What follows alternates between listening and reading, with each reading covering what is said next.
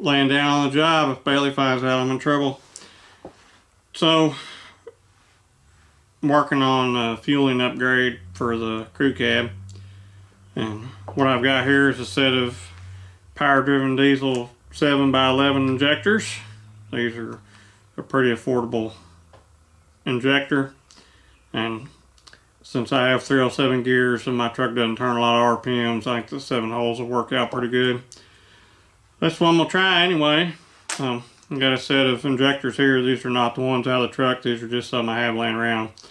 So I'm going to pull these down, put these new bodies on, set the pop pressure, and make sure they're chattering like they're supposed to and everything looks good and then these will be ready to go in the truck at some point in time when I get around to doing that.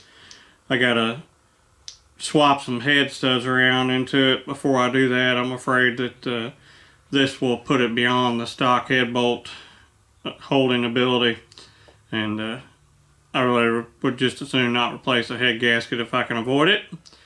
So it'd be head bolts first, then injectors to see what these will do. So won't get to see what these will do this video, but you will get to see how to put together a set of injectors from tips. So, I'm going to get over to the vise and I'll bring you back. Okay, so injectors in the vise. Got my 15 millimeter socket. Huh, that was already loose.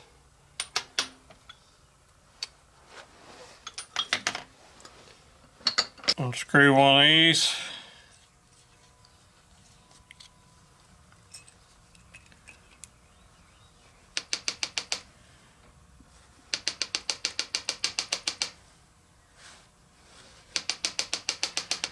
Might have all been apart because I robbed the shims out of them.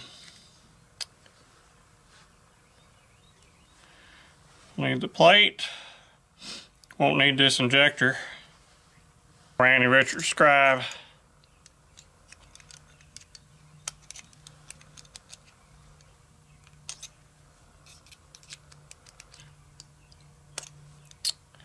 Yep, looks like no shims.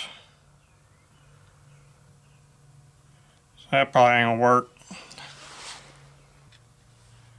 Plate on, be sure the hole's turned right way.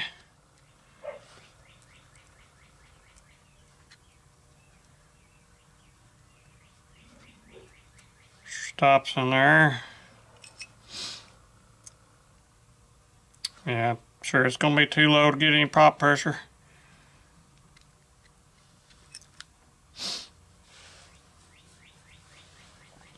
Make sure injector tip's on.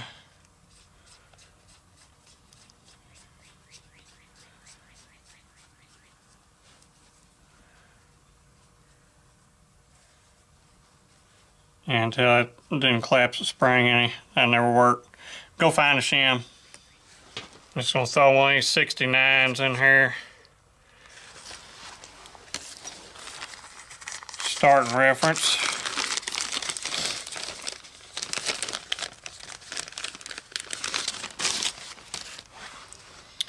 Might go up, might go down.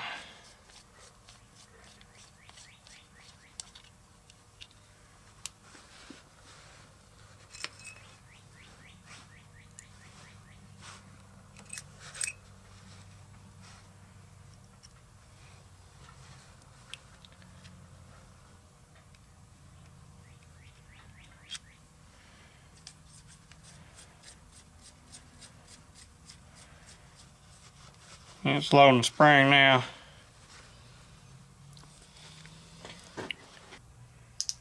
Torque this injector.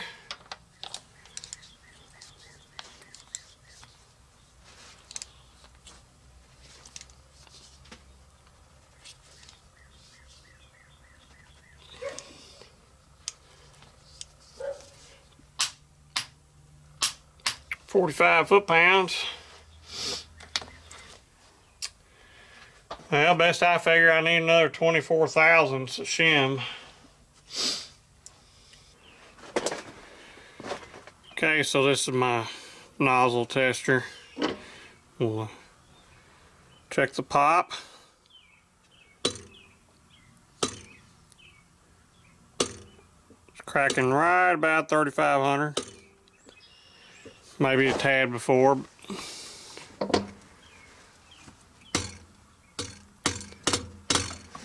see that. Cloud of fuel.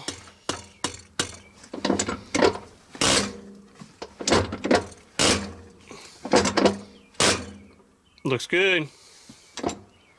It's just rinse and repeat.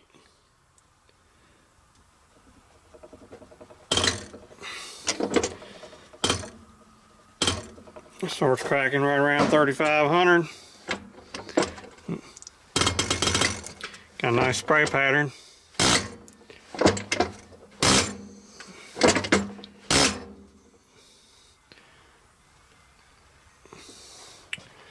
All we look for is uh, leakage out the return hole.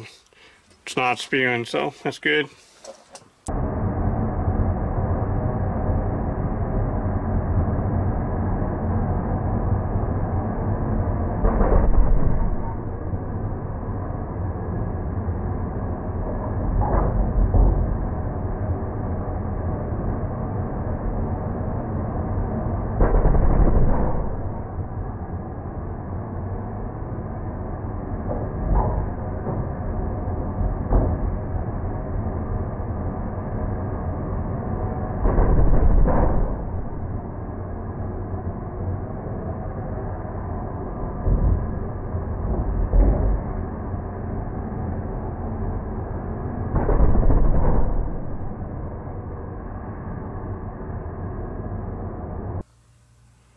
Well, that's going to do it for the at-home uh, budget builder injectors, how to put them together, set them up, and pop test them, and even flamethrower test them, just to, you know, have some fun.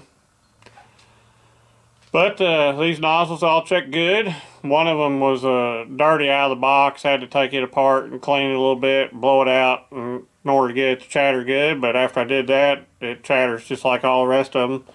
These are all spraying good, atomizing nice, and they should be ready to go in the truck when I get to that point. So, if you ever need to do some injectors, it's not really hard to do. Uh, you do need a lot of shims though if you're going to get the pressure set.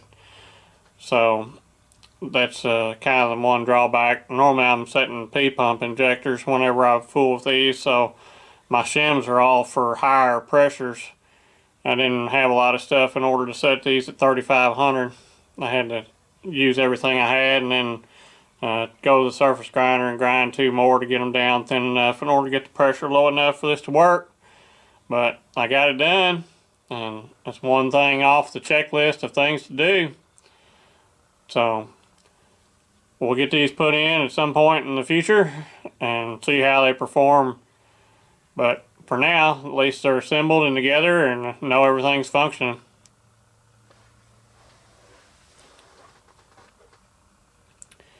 If you do something like this and you need some of these shims, uh, I'm sure Area Diesel Service can fix you up with these.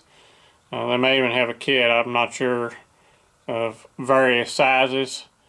And I think Power Driven has a kit too with some little shims, but I'm I think theirs are just the real thin shims that you just add to your existing ones to raise the pressure in like 50 or 100 pound increments. Uh, the preferred method is to use the thicker shims. I've seen those little shims break apart and flake over time from repeated cycles and then they wind up going through your injector tips and tearing them up and that's not good. So if you can use two thicker ones to get where you want to go, or one really thick one, I think they make some singles thick enough to set these pressures individual. Uh, normally on the P-pump stuff, it's got two in it, but these VEs might get by with just one if you had some real thick ones. From what I was setting up here, looked like you need to be in the 80 to 85 thousandths range in order to get the proper pop-off pressure with these particular nozzles. But you that varies depending on the particular tip, so not all of them will set up at that. But that's what these 7-Elevens, of course they call them 11s, but they're actually something smaller than that because I tried my 11 thousandths pin in them and they wouldn't go in. So they're like 7, 10 and a half or something maybe. This job's not real hard to do if you want to tackle it yourself. Uh, pretty much just need a torque wrench and try and keep everything pretty clean uh, in the nozzle part of it anyway. And you need a way to pop test them to verify what the pressures are set at. Other than that, there's not much to it. So anybody could do this at home with the right equipment. Thanks for watching. Thanks for subscribing. I'll catch y'all later.